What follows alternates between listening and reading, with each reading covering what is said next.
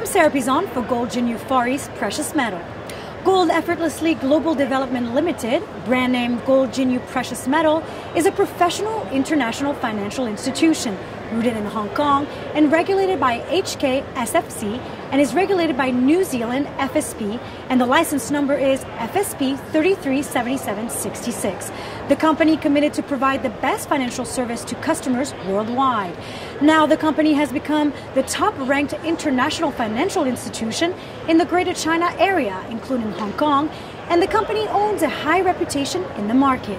With the ongoing effort generated by Jinyu employees and the strong support from our clients, Jinyu has developed its business covering all Chinese customers globally and has become the most reliable trading platform originated from China.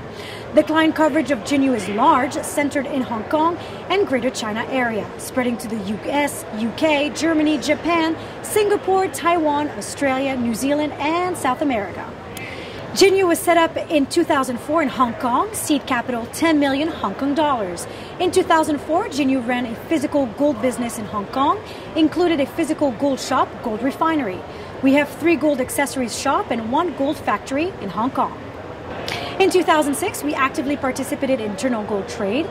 We explore and operate gold mines worldwide, including South Africa Primitive Gold Mine, Chile Andes Mountain Gold Mine, and meanwhile, we have companies operating gold trading business in Singapore and Australia.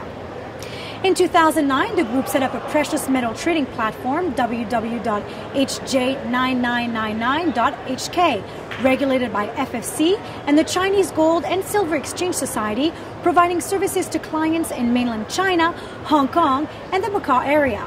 And in the same year, US and London offices are set up. In 2011, the turnover of Jinyu Gold trading platform exceeded 500 million US dollars, providing gold investment services to nearly 100,000 investors.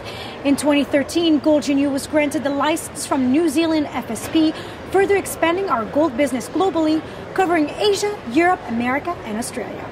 And it was the fifth year in 2014 since the setting up of the Jinyu trading platform. The turnover of platform is expected to exceed $1 billion. Meanwhile, the service quality will be lifted even further.